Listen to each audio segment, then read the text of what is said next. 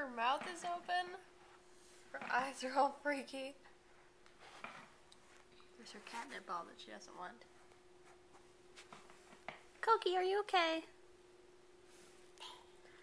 Well, Coco just got home a couple hours ago from surgery. She had to get a piece of earwax out of her ear, but they had to put her to sleep to do it because she's a brat. And this is what we got. We have zombie cat now.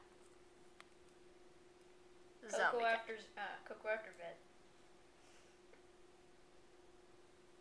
About to say Coco after zoo. Look at this. No reaction. Hey, what are you doing?